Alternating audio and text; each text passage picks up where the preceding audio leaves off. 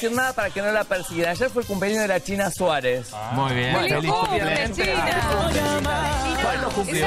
Jovencita. 23. Eh, ella cumplió 24, 23 años y entonces eh, él le puso feliz cumple para mi China, para mi Chini. Ah. Gracias por lo que me hace sentir. Ahí está, ahí estamos viendo que escribió la vida. Y ella no se quedó atrás porque le respondió, arroba David Val, sos lo que siempre soñé.